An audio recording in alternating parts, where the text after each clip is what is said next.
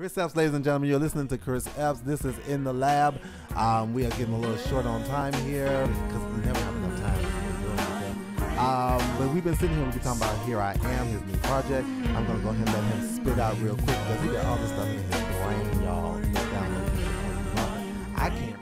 Go ahead, let's start from you know where they can find out about Chris Epps and take it from there. You can find out about Chris Epps at my website, which is www.chriseppsmusic.com. Also, you can hit me up on Twitter, which is um, tw- www.twitter.com slash chriseppsmusic. Um, also on um, I'm on Facebook. You can find me on Facebook. Just typing in Chris Epps, and, also my my like page. Make sure you um, hit my like page on Facebook, um, so you can follow me on there. As far as buying the actual project, here I am. You can get it at cdbaby.com slash cd Chris Epps. Um, just type on the iTunes search window and type in Chris Epps or Amazon.com um, or Rhapsody.